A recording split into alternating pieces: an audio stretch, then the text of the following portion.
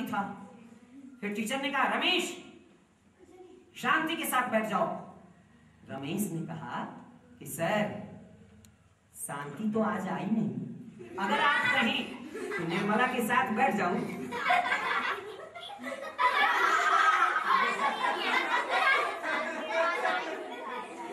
आज की ताज़ा खबर, आज की ताज़ा खबर। एक आदमी ने दस आदमी को ठगा।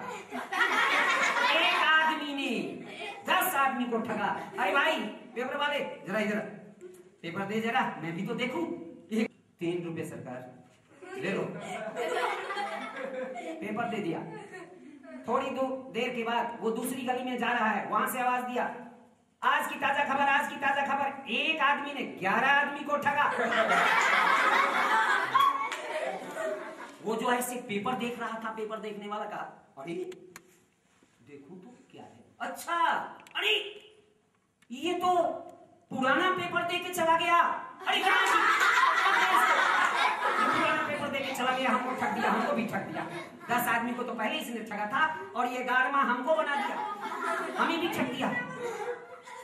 दही वाले भाई, शास्त्रीय संगीत चल रहा था, और बहुत बड़े कलाकार आए हुए थे शास्त्रीय संगीत के वो। उस्ताद कोई आए हुए थे आलाप होता है ना शास्त्रीय संगीत में हाँ तो पहले तो आलाप होता है तो तुमको तो मैं थोड़ा सा आलाप सिखाता हूँ। वहाँ तो लंबा आलाप चल रहा है दस बीस मिनट का आलाप ही है। तो वो शुरू ही किया आलाप और उसने शुरू किया। रोने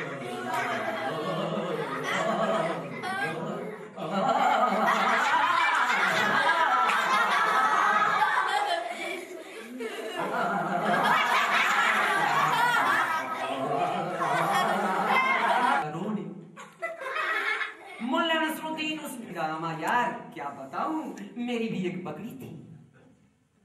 क्या मतलब? अरे, इस भीड़ में बकरी कहाँ से आ गई? ये बकरी कहाँ से आ गई? अरे, बकरी यहाँ नहीं, मेरे घर पर थी। तो फिर बकरी से क्या लेना देना है इस, इसमें? उसने कहा, तुम नहीं समझोगे। अरे, मेरी बकरी इस कलाकार की तरह ही मेमिया मेमिया के मर गई। मुझको लगता है कि कहीं यह कलाकार भी तो नहीं मरने वाला है, जो इस तरह से नहीं जा रहा है। हंसो हंसो।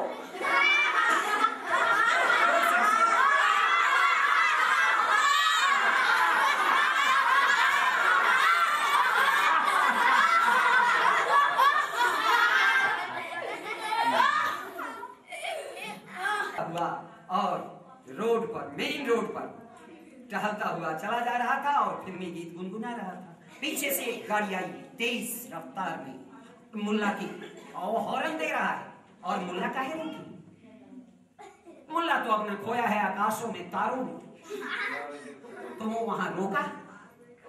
गाड़ी को और उतर के कहा कि श्रीमान श्रीमान यदि आप जा, तो जहाँ देख रहे हैं ना वहीं चले जाएँगे। तो हो गया? उद्घोष इसमें आप सब शामिल होंगे। एक लाइन तो मैं बोलूँगा और दूसरी लाइन आपको